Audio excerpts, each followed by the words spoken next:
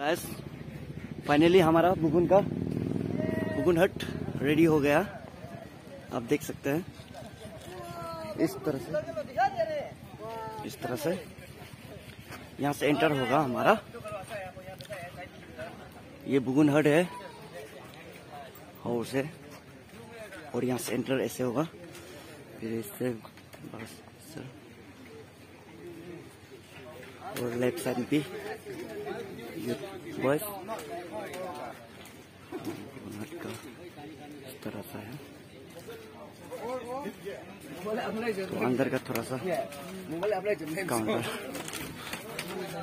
ये हमारा का के काउंटर असिस्टेंट के लिए।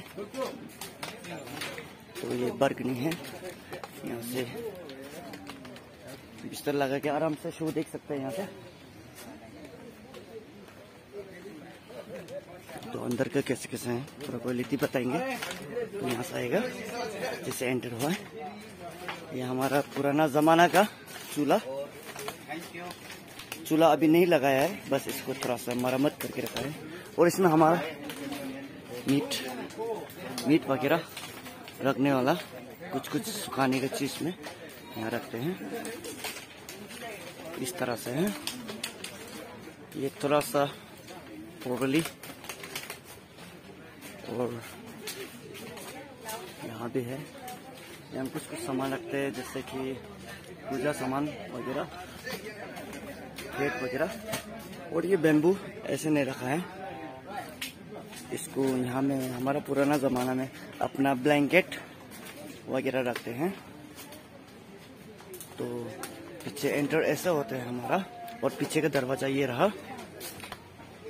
तो पीछे का नज़ारा ऐसे होता है। इस तरह से। ये तो अभी न्यू जनरेशन का एक तो किचन बनाया।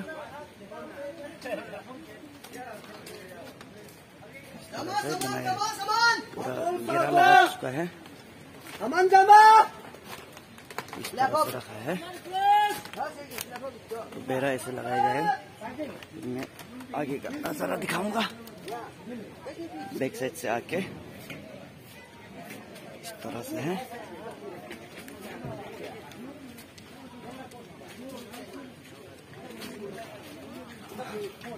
स्टॉल टाइप का बनाया है अभी इस बार हमारा पंखों फेस्टिवल के लिए, खास जाके।